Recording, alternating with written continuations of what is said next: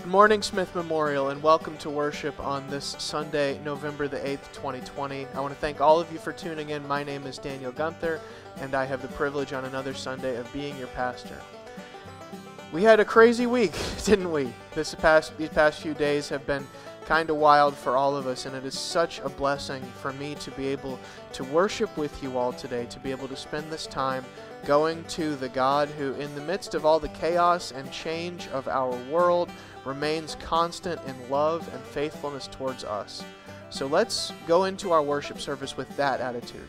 Let's go into our worship service focusing not on the craziness of this world, but on the constant love that our God shows us and the constant love that we can always show our neighbors. Let's prepare to meet this God and let's prepare our hearts and our minds to worship God together. And now, friends, once again, let us affirm our faith in the God who stands firm in the midst of the craziness and chaos of our world, who reminds us all that we are holy, that we are loved, that we are called to love our neighbors, and that all of this is connected to the kingdom of God that God will someday bring. Let's recite the Apostles' Creed together. I believe in God, the Father Almighty, maker of heaven and earth and in Jesus Christ, his only Son, our Lord, who was conceived by the Holy Spirit, born of the Virgin Mary, suffered under Pontius Pilate, was crucified, dead, and buried. The third day he rose from the dead. He ascended into heaven and sitteth at the right hand of God the Father Almighty. From thence he shall come to judge the quick and the dead.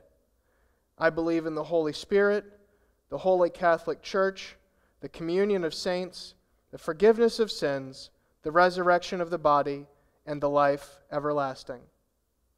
Amen.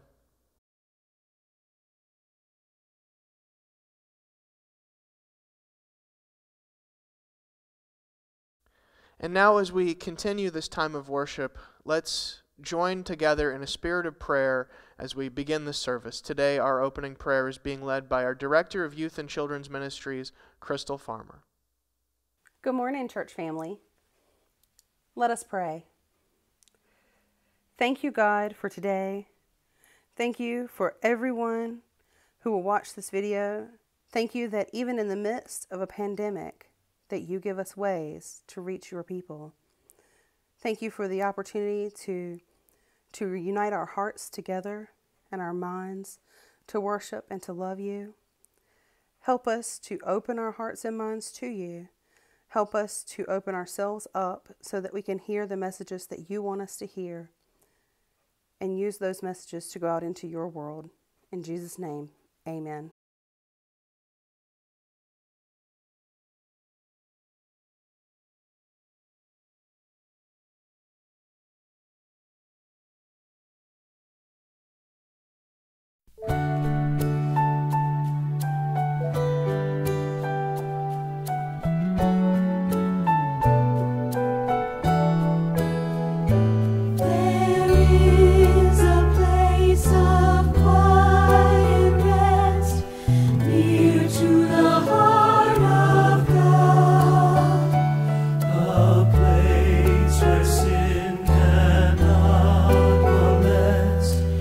near to the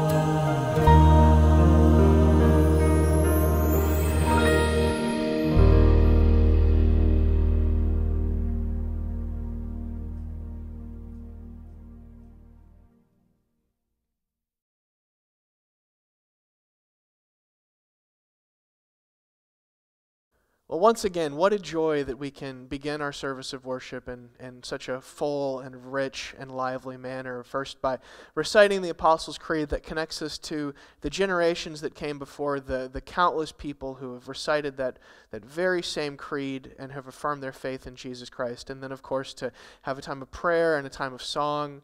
What a pleasure, what a joy, what a blessing. And thank all of you for being here and participating in that. We're starting a new tradition in the month of November. We are on our second, what I'm calling Celebration Sundays, where, where we celebrate different components of the church. Last week we celebrated the saints of the church, the people who have, who have gone by and who have made the church what it is. This week we have the privilege of celebrating the community meal volunteers, the people who who participate in that ministry and the work that they do to keep our community fed and sustained, especially during this difficult time that we are currently in. As I invite all of you every week to contribute to this church out of the spirit of your generosity, to contribute financially to it, I hope that you can watch the video that we're about to see, that I'm about to show you, and see just how powerful those gifts are because of the things that those gifts make possible. Again, this is showing our community meal volunteers and the incredible work that they do. And I'm so excited for you all to see up close in person what makes them go. The community meal actually started uh, probably about 10 years ago okay. with uh, Betty Heaton and Carolyn Plaster. And they thought that it was a way to get the community uh, into the church and to bring the church out to the community. I started with my Sunday school class. We would take turns, different groups, doing the community dinner when it was inside. And so I helped with that. Well, when the pandemic started, we were supposed to have a community meal two weeks, well, we can have after we were quarantined, after everybody went into quarantine. So that's when we decided on frozen dinners and canned goods and just fixing a bag up of uh, food to hand out to people that came along. And we promoted it as a drive through meal. And I think this really helps more people with more food. We get to interact with the, uh, the people that come to pick up the food and they are so appreciative and just I think it just lifts their spirits that we bring the food out to their car and put it in and they drive away knowing that in two weeks they can come again. So it's, it's something that I have come to enjoy doing, look forward to doing it, and very thankful to be a part of this ministry. I like being able to help the community out, and uh, it, it feels good doing something for other people. It makes me feel better. So I get probably as much or more out of it than the people that I'm helping.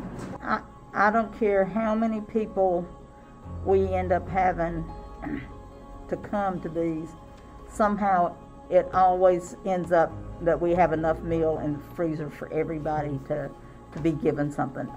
Jesus has just, and God has just multiplied the gifts that people have brought in to serve more and more people in the community. Some people want to talk a little bit. Uh, they will tell you, you know, things about themselves or, you know, just talking about the food. But to see know, people, the same people over and over, you feel like, well, hey, this is somebody I know. Mm-hmm. And so, and it, it, would be nice if there was some way for the, the congregation, the people that have been so faithful to bring food, if you know, they could have a glimpse of mm-hmm. what that bag of potatoes, a bag of apples, or whatever they bring, what that means to the people mm-hmm. giving it. I think Jesus really wanted us to share everything we have, mm-hmm. everything. And, you know, I, I think we're reaching a big population right now with this. Mm-hmm. And, you know, it's, I don't care if they drive in a, Lex, in a Lexus and they come in for food, there's a reason they're here. Mm-hmm. You know, they either needed something for uh, someone else in their family or they're helping their neighbors. Uh, people come in for different reasons. And I just feel like that's exactly what Jesus wanted us to do. It's not, we're not, they don't have to fill out a paper and we don't have to judge, well, you might make too much or, you know, if you need it and you feel like you're led to come here, then we're going to give you something. I'm reminded of the scripture where, you know, Jesus said, if you give it to the least of these, you have done it unto me. So I think that this is this church being the hands and feet of Christ.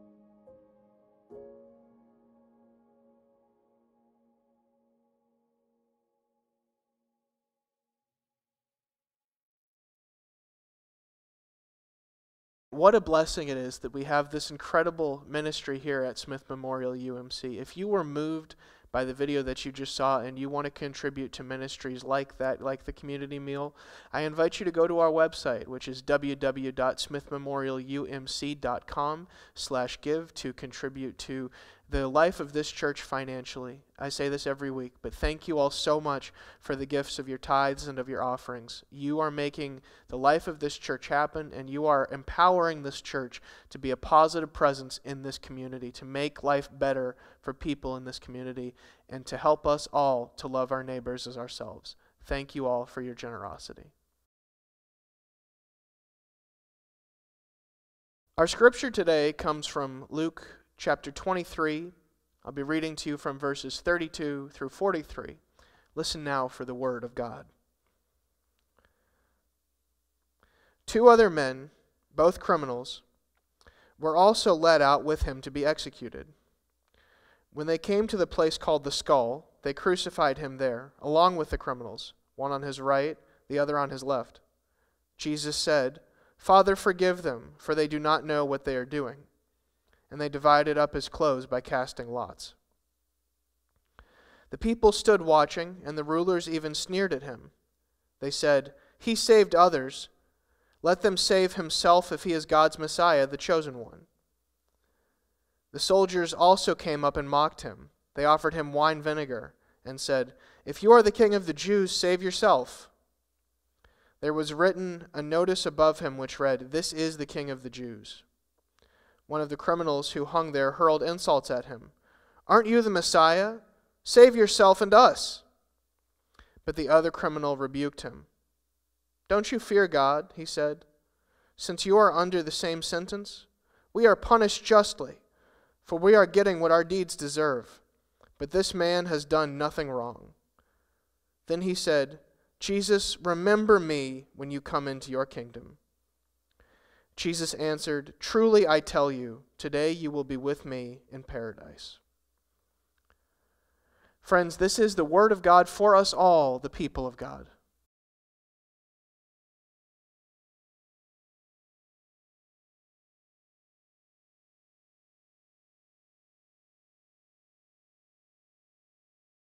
Have you ever thought about how much one chance one choice, one decision that you make can totally change your life?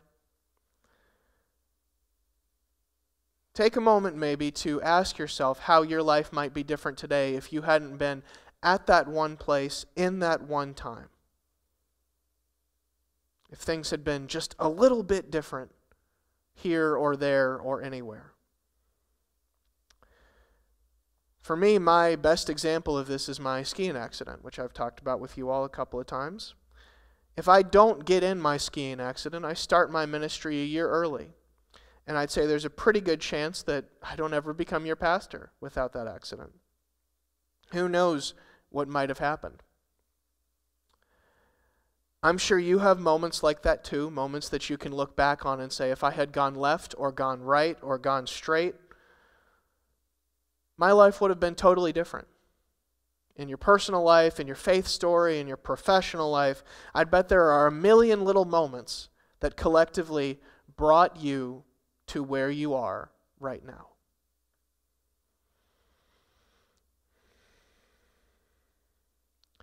In looking at our scripture passage for today, I can imagine that of all the people described in the passage, there were at least two people who were reflecting on this exact same phenomenon. They were thinking about all the little chances that they had taken, all the little choices that they had made, all the little decisions that they had chosen upon, and how those had collectively brought them to this moment right here. And I'd bet they were asking a question similar to How in the world did it all come to this? I'm talking, of course, about the two criminals who were crucified next to Jesus.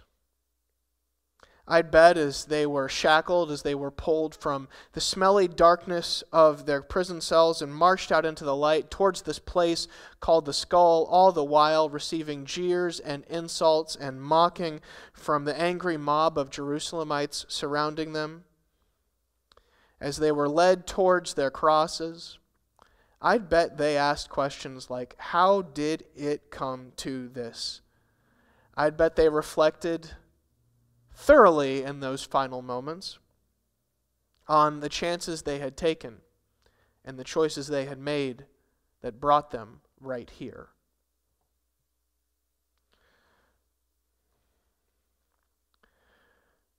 Of course, there, there was a third person who joined them on a cross that day. Jesus was there with them too.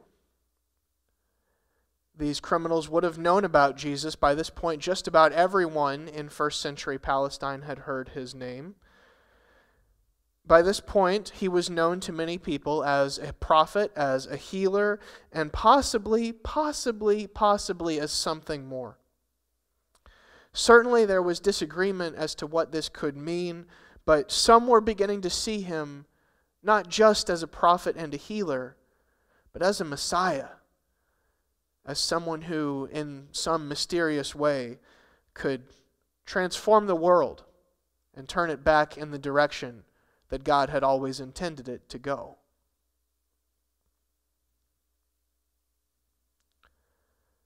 Strangely enough, it's here in this moment as Jesus hangs on a cross and these two criminals hang on either side of him.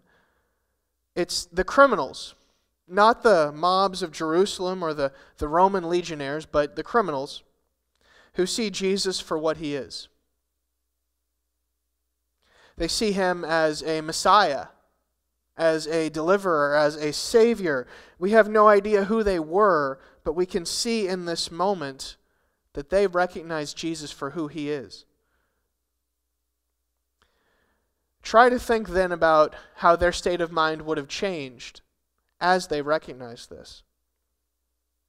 Try to imagine how they were feeling as they were led up in shackles, surrounded by a jeering and cheering mob towards this place called the skull. And try to imagine how they real how they felt when they realized that Jesus, the Messiah, was already there, waiting for them. Do you think they felt a surge of hope? Maybe.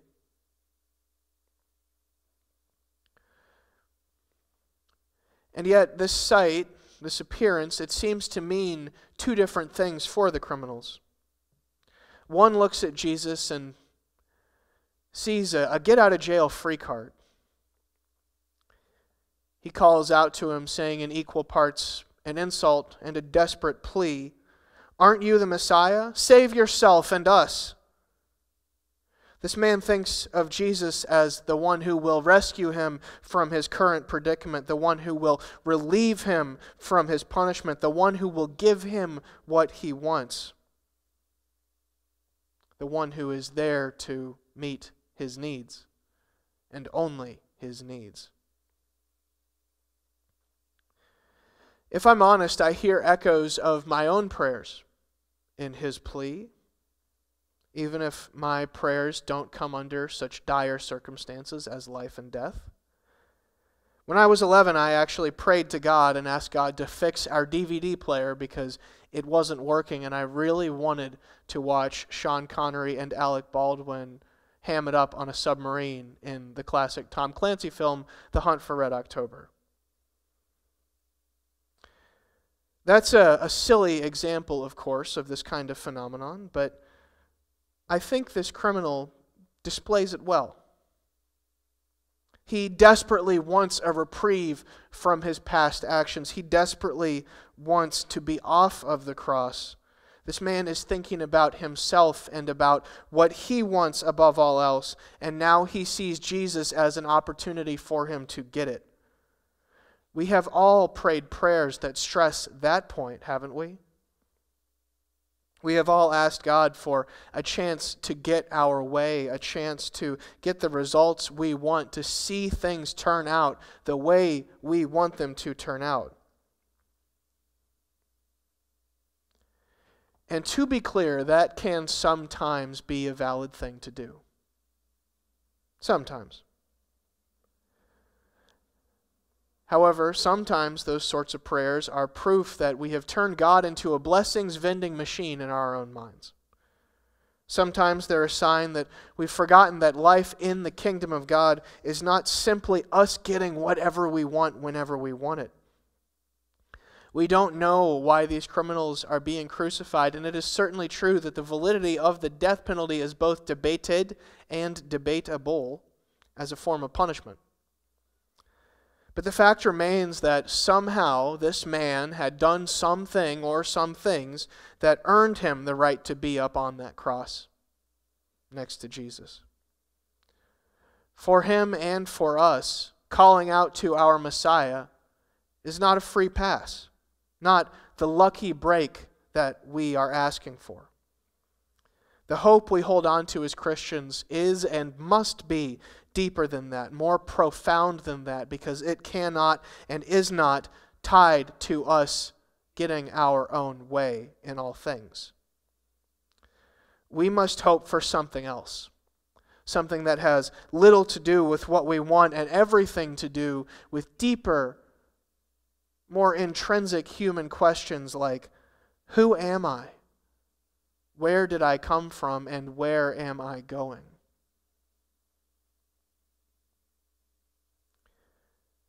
The other person next to Jesus was also a criminal. He had, it seems, also done some other terrible deed or deeds to merit crucifixion. Again, we have no idea what that was. No clue. But we can tell that he seems to understand what's going on here in a way that the other criminal does not. He's focused not on what he wants, but on the injustice in front of him. The injustice of Jesus, an innocent man, dying before his eyes. How do you think that this second criminal got here, got to this point? What chances, what choices, what decisions do you think he made that put him on a cross next to Jesus Christ on this day? Did he grow up with loving parents who cared for him and met his every need, or did he grow up in a broken home?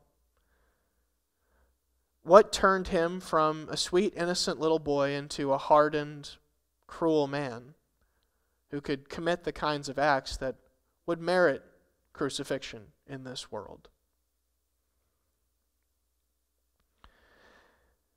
It's actually not that hard for me to imagine him in the days, weeks, and months prior to his arrest, looking out at the window late at night, looking up at the night sky and watching the, the moon and the stars and all the beauty of the evening, and thinking to himself, I was meant for something more than this. But I don't know how to stop. I don't know how to stop.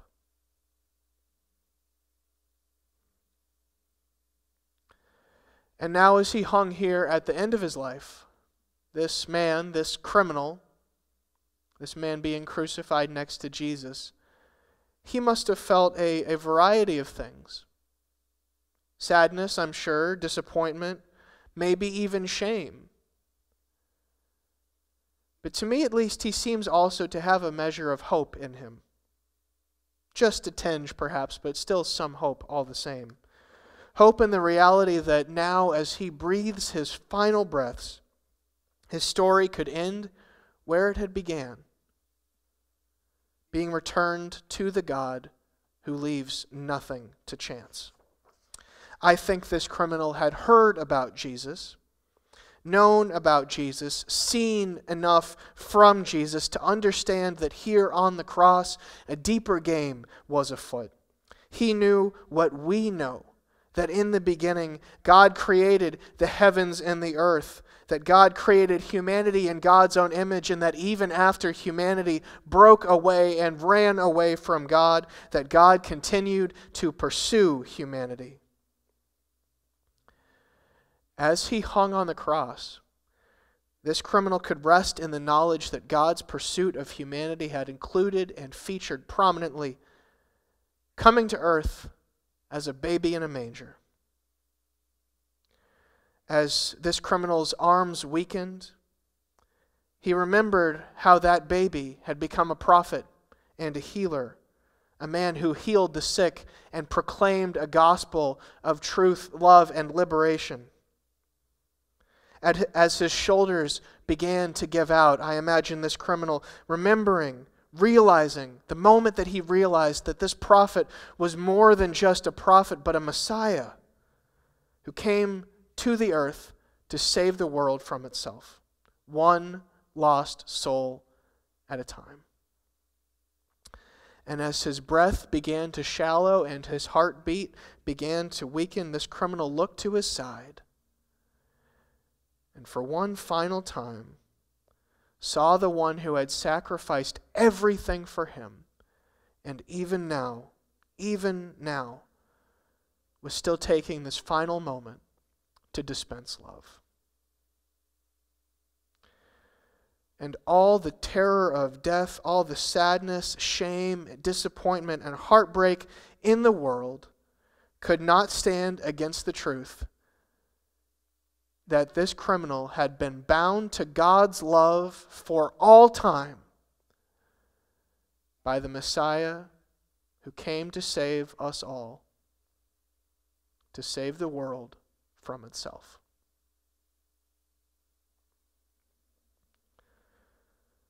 Whatever your story is today, however you feel about the world we live in, I hope that you can rest in the knowledge that your place in this world is not determined by chance.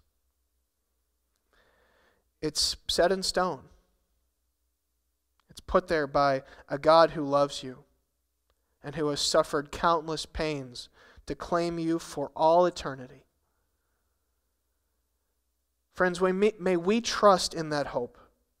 May we trust in that knowledge that God has loved, does love, and will continue to love each and every one of you for all eternity, even to the point of death. And that because of this love, there is a day in the future in which God will say to you, to me, to all of us,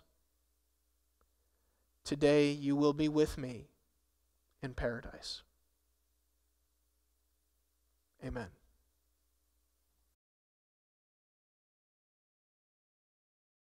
Friends, we will now enter together into a time of prayer. I invite you to join me in prayer and at the appropriate time to lift up your own prayer concerns as we pray in silence together. Let us pray.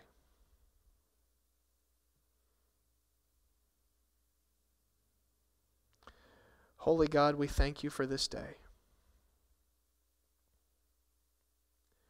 We thank you for the love that you have shown us. We thank you for the love that you continue to bless us with through your Son, Jesus Christ. As the chaos of our world rages around us, as hope rises and falls. We know that you are steady, that you are steadfast, that you are holding on to us each and every day, each and every night, each and every hour, each and every moment we have. You are there, keeping us safe.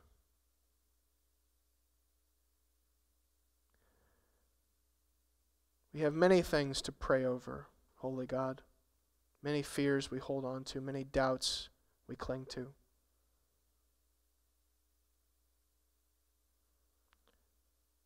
Hold us close in this difficult time. Cover us with your love and your nurturing spirit.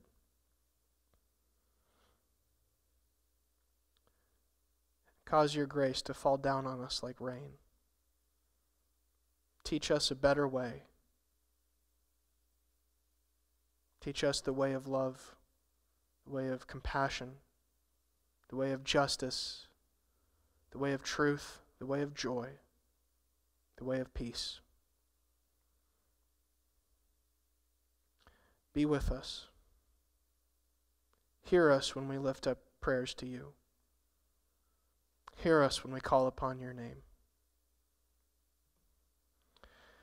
Today we pray for Steve Foley, Barbara Foley, Jim and Katie Connolly. We pray for the Whitleys, for Garvin, for Jonathan Pace and the workers of North Georgia Hardwoods, for Tim Martin and his family. We pray for Mandy, Juanita Daniel, Tish Hadley, we pray for Teresa and for Emma. We pray for Ricky Stone, for Merle Duffy, for Sandra Kendrick, for Joyce Odie, for Thomas Duffy and Michael Duffy. We pray for Dana Liebengood, Francis Cooper. We pray for the family of Levon Smith. We pray for Judy Meeks, Janet and Reggie Fulcher.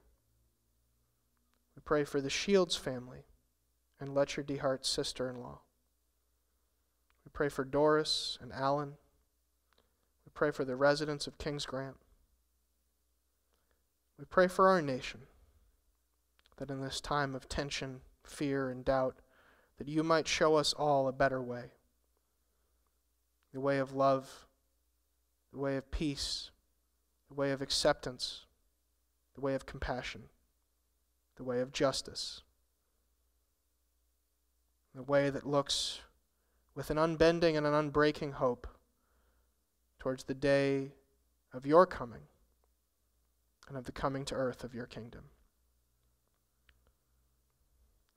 We also lift up the silent prayers that we hold on our hearts, the prayers that we keep to ourselves, and the prayers that we lift aloud from the comforts of our own homes.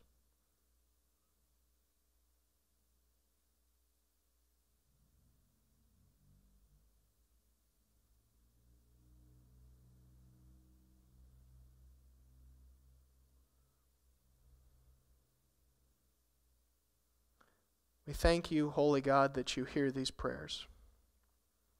That when we lift these prayers to you, you hear what we say.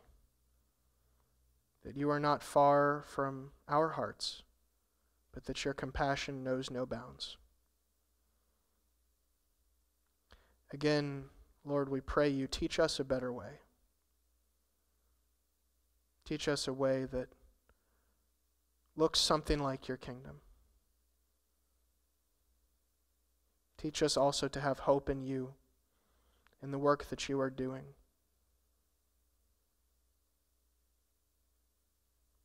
We thank you for the life of your Son, Jesus Christ, who has given us so much, shown us so much, and been with us through so much. He makes our church whole, makes it what it is. We pray that his love might continue to shine through to us, and that we might mirror it in our own lives. And now together, we also pray the prayer that he taught us to pray, saying, Our Father, who art in heaven, hallowed be thy name. Thy kingdom come, thy will be done, on earth as it is in heaven. Give us this day our daily bread, and forgive us our trespasses, as we forgive those who trespass against us. And lead us not into temptation, but deliver us from evil. For thine is the kingdom, and the power, and the glory, forever. Amen.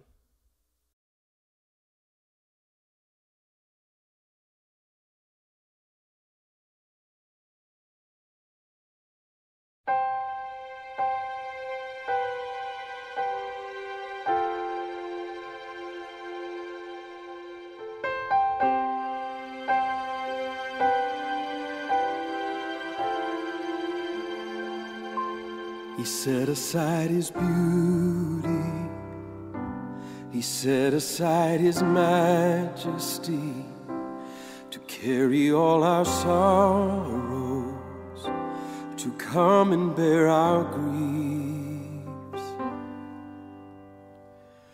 When we, like sheep, had gone astray. The man of sorrows made the way, crushed for our iniquities. His suffering brought us peace. With his wounds and by his stripes,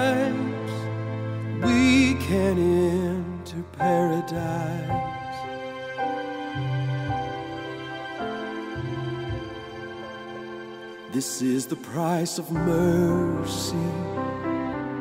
This is the price he paid to win the hearts of all his people. One day we'll be with him. Because of one we now are saved. The King of glory made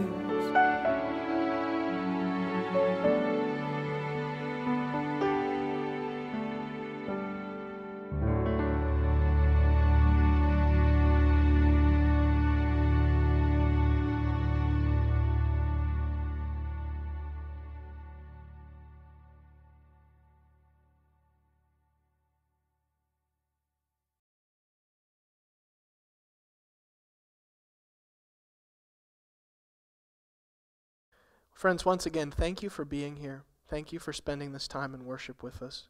I'm going to end the service with my usual reminder to remember to love your God, to love your neighbors, and to love yourselves. In the end, I remain confident, I remain convinced that God's love is and will be triumphant in all things. As we go out into the world this week, let's live our lives that way. Let's live our lives as if that is the expectation. It's a challenge these days. It's a challenge at any time because God's love is always going to appear radical and confusing and surprising in a world of fear and anger and sometimes hatred. But let's go forth out into the world with gladness and singleness of heart, trusting in God's love, trusting in the triumph of God's love, trusting that we can witness to that, and trusting that in the end it will come to pass, and that we will all hear those magic words Today you will be with me in paradise. May it be so today, tomorrow, and every day hereafter. Amen.